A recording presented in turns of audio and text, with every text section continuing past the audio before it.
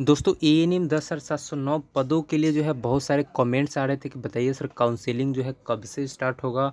एक दिन में कितने अभ्यर्थी बुलाए जाएँगे और कितने दिनों तक जो है काउंसलिंग की प्रक्रियाएँ चलेंगी? साथ ही साथ जो है एक दिन में कितने अभ्यर्थी जो है शामिल होंगे? इन सारी चीज़ों पर जो है इस वीडियो में हम बात करेंगे। दोस्तों तो चलिए दोस्तों, वीडियो को स्टार्ट करते हैं, लेकिन उससे पहले आप सभी से रिक्वेस्ट है कि जो चैनल पर नए हैं, कृपया चैनल को सब्सक्राइब कर लीजिए एवं बेलाइकन को दबा लीजिए, ताकि कोई भी लेटेस्ट नोटिफिकेशन जो है दोस्तों, आप सभी तक जो है पहले पहुँचे तो पहले आप देख लीजिए दोस्तों कि ये जो आप पिक जो देख रहे होंगे, ये ज्ञान भवन पटना का पिक है। आप सभी को जो है काउंसेलिंग के लिए, जितने भी ए एन एम दस हज़ार सात सौ नौ पदों के लिए वेट कर रहे हैं, उन सभी को जो है यहाँ पर ज्ञान भवन पटना में बुलाया जाएगा और करीब जो है तीन गुना लोगों को बुलाया जाएगा। जैसा कि आप सभी को मालूम होगा कि दस हज़ार सात सौ नौ पदों को लेकर के जो काउंसलिंग की प्रक्रिया की जानी है, जिसको लेकर के तीन गुना व्यक्ति के जो है काउंसलिंग की जाएगी। यानी कि समथिंग जो है आपको यहाँ पर बत्तीस हज़ार एक सौ सत्ताईस लोगों को जो है काउंसलिंग में बुलाया जाएगा।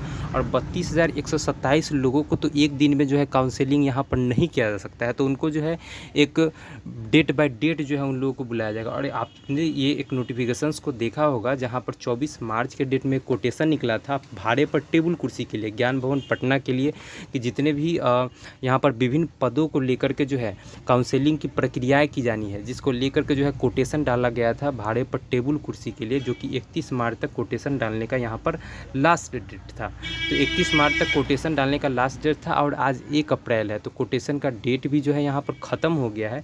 तो अब जो काउंसलिंग की प्रक्रिया हुई, ये आप देख रहे होंगे टेबल कुर्सी का, ये आपका ज्ञान भवन पटना का अंदर का पिक है, जो कि पिछली बार जब जेई का यहाँ पर काउंसलिंग हुआ था तो उसका ये पिक है।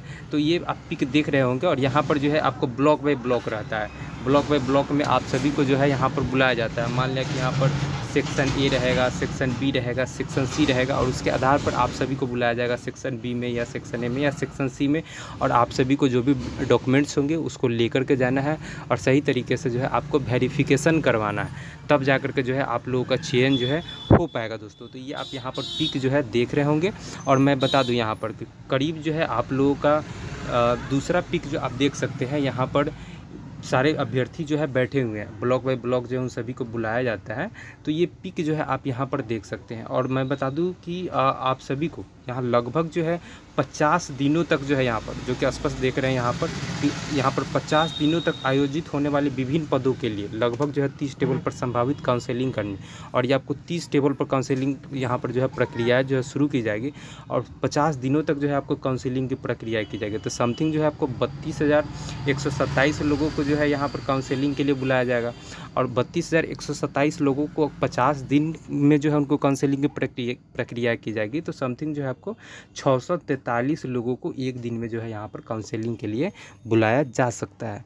और ये आपका जो काउंसलिंग जो स्टार्ट होगा, वो आपका मिड वीक में, यानी कि दूसरे या तीसरे वीक से आपको स्टार्ट होगा, क्योंकि जो है टेबल के लिए कोटेशन तो फिल हो गया है डेट भी उसका ख़त्म हो गया है, और इस सप्ताह नहीं, अगले सप्ताह से दूसरे या तीसरे सप्ताह से जो है काउंसलिंग के लिए जो है आपको एक नोटिस भी जो है जल्द ही आप सभी को देखने को भी मिल जाएगा, जिसका काउंसलिंग प्रक्रिया को लेकर के किस दिन से सारे बच्चों को जो है काउंसलिंग में जाना है, उसको लेकर के भी जो आपको नोटिस जो है यहाँ पर जल्द ही जो है बी का ऑफिशियल वेबसाइट पर देखने को मिलेगा।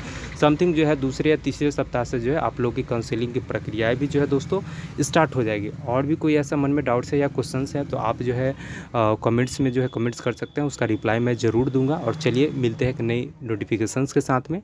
तब तक के लिए धन्यवाद।